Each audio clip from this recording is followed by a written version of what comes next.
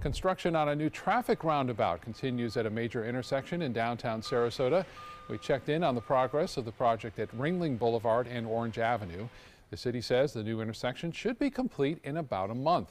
Construction has inconvenienced a number of area businesses and residents, but a senior city engineer says it will all be worth it once it's done.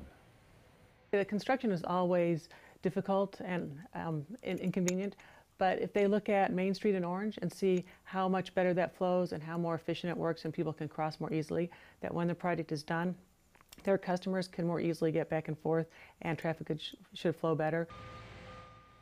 Work on the roundabout began in November, and again, it should be complete by about mid-April.